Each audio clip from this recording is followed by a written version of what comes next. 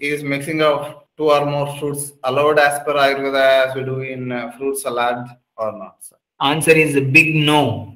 Ayurveda very clearly said whenever you want to eat fruits, eat one type of fruits.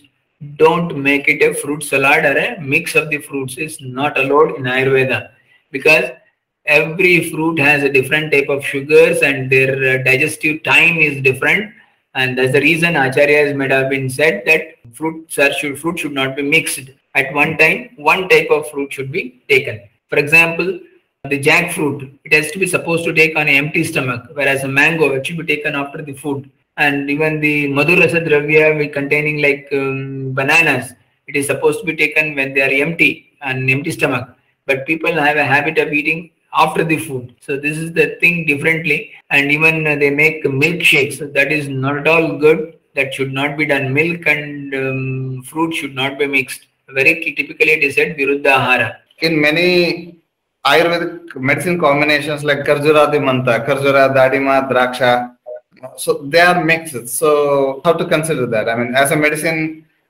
dates, raisins, uh, uh, pomegranate, etc. is mixed and prepared as a medicine. If you observe there, it is Drakshadi Mantha, Kharjuradi Mantha, and such type of mantras have been told. And all those drugs are dry in nature. It is not the fresh grapes which is used, it is not the fresh dates which is used.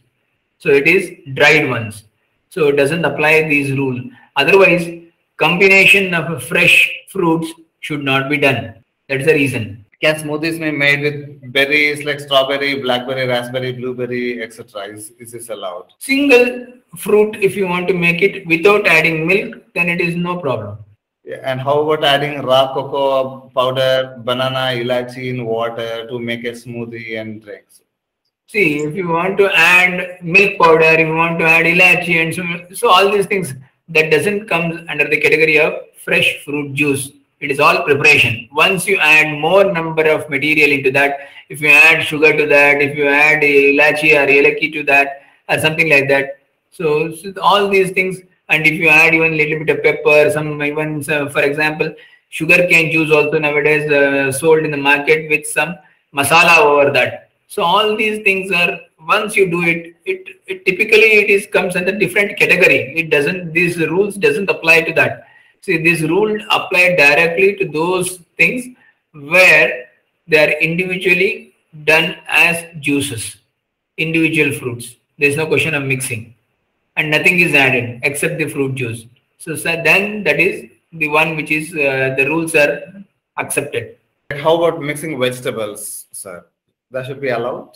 Once again, if vegetables which are from the same family to some extent, it can be. Otherwise, that, that rule also applies to that. Salads multiple type of things are added. That is even eating salads in between the cooked meal is also a, not a right thing because ayurveda never explains about that. We are eating certain foods which after agni samskara in meal in between we are adding raw materials or raw foods. So their different type of uh, digestion time may harm the system. If you want to eat salads some other time avoid it. That is a better way of uh, doing it. And the mixing as well as uh, the even vegetables are also not recommended.